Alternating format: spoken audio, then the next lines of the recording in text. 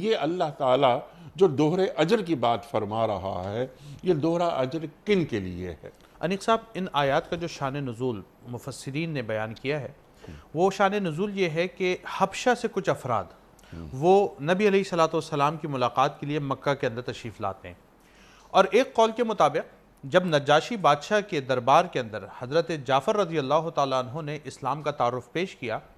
तो उसने वहाँ से कुछ लोगों को नबी सलाम के पास भेजा ताकि आपके बारे में आगाही हासिल की जा सके और सही मायने में मालूम को जमा किया जा सके। जब वो लोग मक्का पहुँचते हैं और नबी सलाम आप तशरीफ़ फरमा हैं, वो लोग आपके पास आते हैं, आकर आपसे सवाल जवाब पूछते हैं।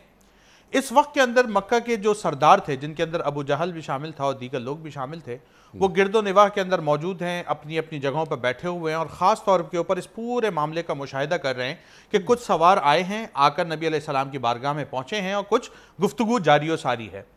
चल लम्हे गुजरे गुफ्तु हो रही है बातचीत चल रही है यहाँ तक कि नबी सलाम आपने सूर्य यासीन की तिलावत करना शुरू की। तो उस वक्त उन लोगों की आँखों से आँसू जारी हो गए। और जब वो लोग रोने लगे अशबार हुए तो रोते हुए किसी ने उनमें से कहा कि ये तो वही कलाम है जो हम पहले सुन चुके हैं। यानी कि हज़रत ईसा सलाम पर जो इंजील का नजूल हुआ था तो उसमें जो आयात मुबारक उस वक्त मौजूद थी जो कि अपनी असल हैत में थी तो वो फरमाते ही कलाम तो बिल्कुल उससे मुशाबहत रखता है। इस बात को सुनने के बाद